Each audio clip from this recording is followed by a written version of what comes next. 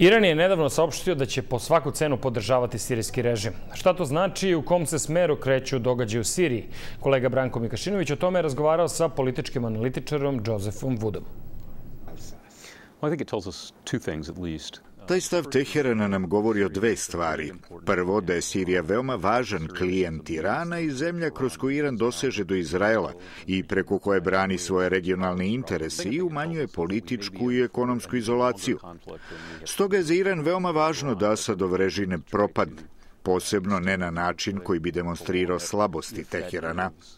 Drugo, iranski stav nagoveštava da bi konflikt u Siriji mogao da potre daleko duže nego što se očekuje, pošto Iran ima jake razloge da se konflikt produži i da opstane sadašnji režim, jer bi neki drugi režim mogao da bude neprijateljski nastrojen prema Iranu. Umeđu vremenu Turska je upozorila sirijsku vladu da Ankara neće prihvatiti kurdski entitet u severnom delu Sirije, kojim bi upravljala Kurdistanska radnička partija.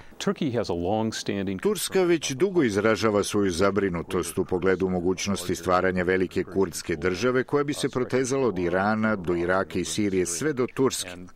Za Ankaru je krajnje važno da se takve aspiracije Kurda spreče. Turska je čak i pre američke invazije na Irak izražavala takvu zabrinutost zbog mogućih dezintegracionih procesa u nekim od tih zemalja.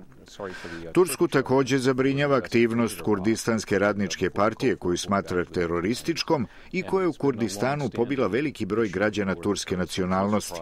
U tom pogledu Turska uživa podršku Sjedinjenih država, mada ovakva situacija ukazuje da je turski regionalni utice ograničen, uprkos nastojanjima premijera Erdogana da ga proširi.